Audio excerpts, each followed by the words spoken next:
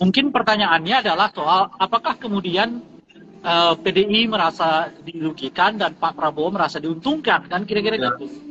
Saya Ya. sih melihatnya nggak ada yang benar-benar merasa dirugikan dan nggak ada yang benar-benar merasa di, diuntungkan gitu ya. Nah PDI ya paling hebat Budiman itu bawa eh, satu persen lah gitu kira-kira tuh. Kalaupun itu ada ya bawa ke sana itu. Kalaupun itu ada. Gitu. Tapi eh, itu kalaupun itu disebut kerugian ya itulah kerugian PDI Perjuangan.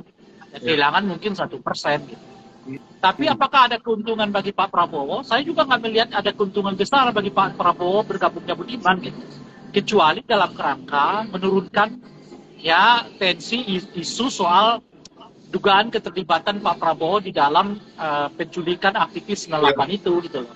Nah dengan bergabungnya Budiman kan mungkin tensi dari isu itu ya makin menurun gitu ya karena salah satu aktornya ataupun korbannya misalnya toh dia ikut dengan eh, Pak Pak Prabowo gitu dan itu pun sebenarnya kan bukan kali pertama ada ada beberapa orang yang pernah menjadi korban dari penculikan itu juga sudah bergabung dengan Pak Prabowo gitu. Jadi Ya. saya tidak melihat ada keuntungan besar, ya keuntungan signifikan gitu ya dengan bergabungnya Budiman ke Pak Prabowo. Bagaimana juga saya tidak melihat ada kerugian besar ya bergabung eh, keluarnya PD eh, Gan- apa eh, Budiman dari koalisinya Ganjar.